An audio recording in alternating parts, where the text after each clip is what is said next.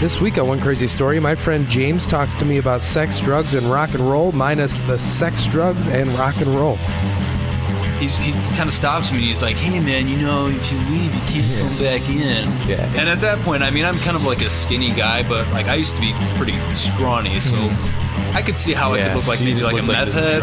Or yeah, like I, I do a lot of heroin in my spare time, you know. work that day. Was when I was working at Kroger, Mm-hmm. and so I don't like the break system there is not great. Um, basically, like you get a break when like they feel like you need one. Yeah. So I kind of just I don't know how it happened, but I just ended up not taking breaks that day just for some reason. It must have been a busy day, so I didn't really eat anything that day or Mm-hmm. Yeah. drink a whole lot of like water Those or anything like that.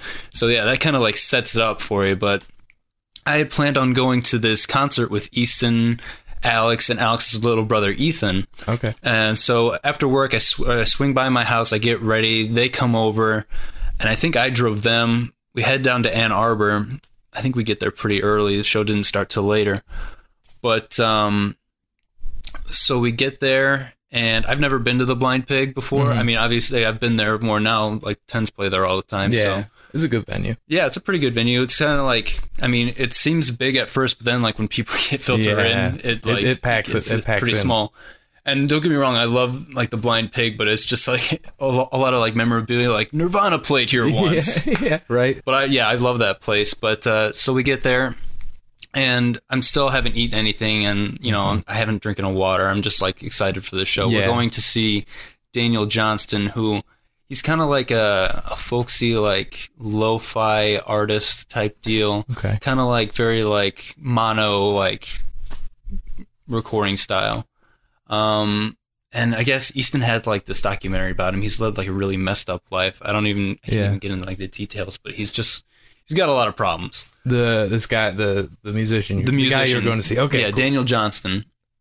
And I'd never even heard of him before either. I was Oh, so you didn't even know any of his songs or anything? You were just Yeah. you were just going for a show. Yeah, I was just going in blind. Nice. See what I The did there? blind pig. Going Going, blind in blind the blind, blind pig. All right. I like it. Uh, So so we get there and slowly more people are filtering in and it's like late August, early September, so it's pretty hot Mm-hmm. and more people are filtering in and then the opening band starts playing and it's like another folk band and they're pretty good and like I look behind me and then there's just a sea of people now like out the door like I can't even see the floor anymore there's so many people so everything's going fine and then it's like that weird like queasiness I start getting Yeah. just like eh, I'm not Claustrophobic? Yeah, a little claustrophobic. Just like kind of like I feel like it's just like something's going on. yeah. something's not, right. Something's not right. Something's I'm gonna, not I'm about well. to not enjoy this. Yeah, exactly. So the ending, the opening band uh, stops playing, and you know it's like that intermission where they got to take down the equipment and put up Mhm. his stuff, and all of a sudden my vision just starts cutting out. Oh man. Like I'm just like I can't see. That's not good. Isn't that weird? Yeah, and it's like it'll just like it'll go out and then it'll come back for a short second, and things are like I've had that happen to me before. And I had no idea what was happening at the time, so I'm just like, all right, I'm dying. Yeah, Something's you happening. just thought. Yeah, you didn't think of it. Like the thought that you didn't even eat hasn't crossed your mind either. exactly, not at all. You're just like, I can't see. I don't Yeah. care why. I just can't see. right. I just thought I'm like, oh, some someone decided I can't live anymore. It's great.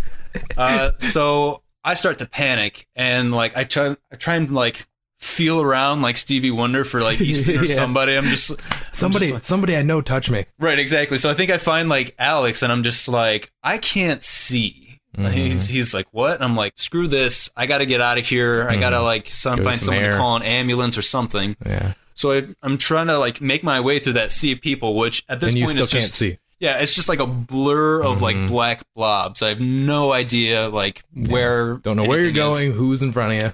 So somehow I miraculously make it to the front. And as I'm like about to head out the door, the like door guy who's just like, you know, the typical like, hey, you know, whatever.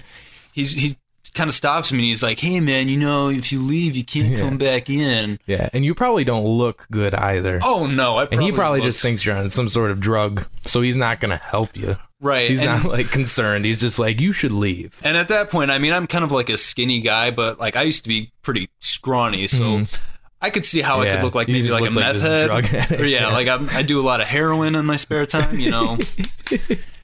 mainlining of you know Did some heroin before the show. exactly do some heroin. But uh, so he's like, you can't come back in if you leave, and I'm just like, dude, I don't give a fuck. Yeah. I don't want to Yeah. come back in. Exactly. I'm just like, I need some help. Mhm. I'm freaking out right now.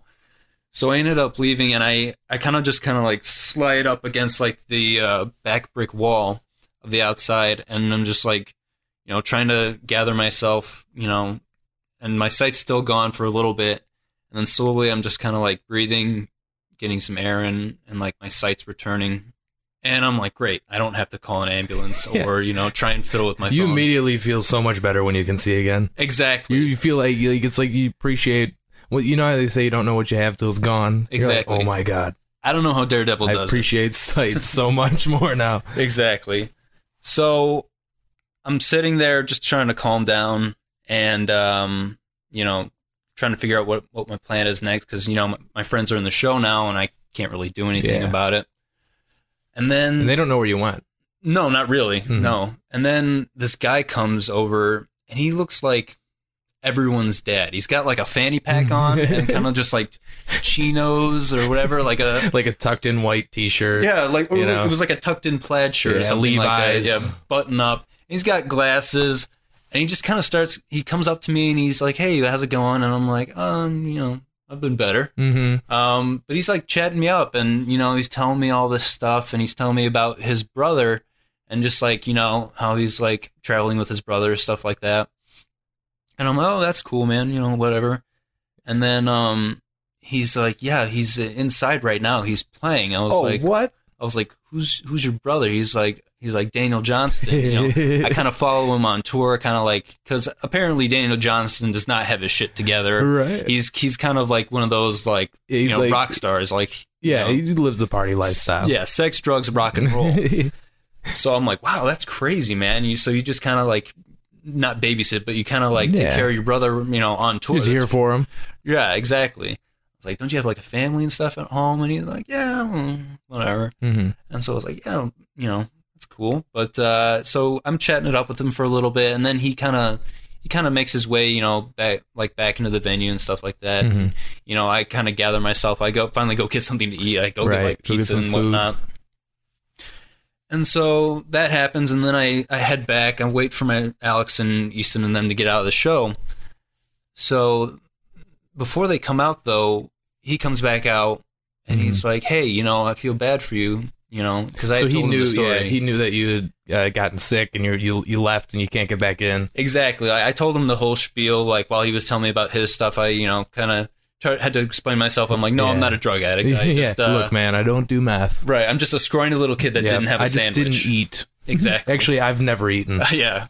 So he said he was like he said you know I feel bad for you man um so you know I kind of brought you a little something so he gives me a, a free T-shirt and CD Oh, from nice. his brother so yeah and he's he said he mentioned something he's like yeah maybe I can get you to meet him something like that that Yeah. didn't turn out happening but like you know it was still, still a nice gesture, gesture, yeah. yeah so I got like you know a free CD from a guy I'd never heard of before so I got to discover some good music that way and then uh Easton, Alex, and Ethan came out, and I just told them the whole story, and they were like, "Oh, that's cool." And they were like, "The show was much better." They were they were clearly not worried about you at all. They're Right, just like, oh, where where would you go? Exactly, pretty much. They were like, "What happened?" I Yeah, was like, where have you been? "I was like, yeah, I almost died." I almost died. Thanks, guys. I couldn't see anything. heat exhaustion. Yeah, so so that happened. So I mean, I'm always careful now. Whenever I go to a show, I have like two bottles of water with me at all Yeah. times. I'm you like, gotta take, I, gotta take plenty of fluids. exactly. I have, I have Jimmy John's, Couple of like in my Nutri-Grain hand. bars. Exactly.